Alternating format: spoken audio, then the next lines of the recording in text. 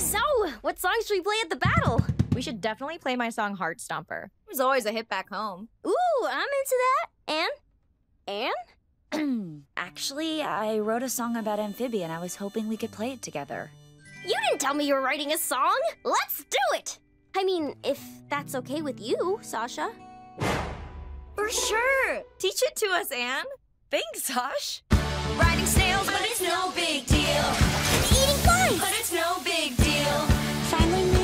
it's no big deal.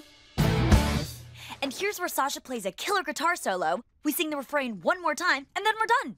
Nice work, Anna Banana. Fun to play, too. Sasha, what do you think? It's good. I just have a few tiny notes that I think could make it even better. Oh, okay. Great. These lyrics are all over the place tonally. They'll have to change. Uh, are these bug suits? Oh, no, no, no. Marmar, the drumming is a little too dense. Let's strip some of this down. And you?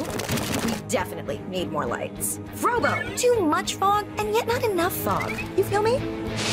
Boom! It.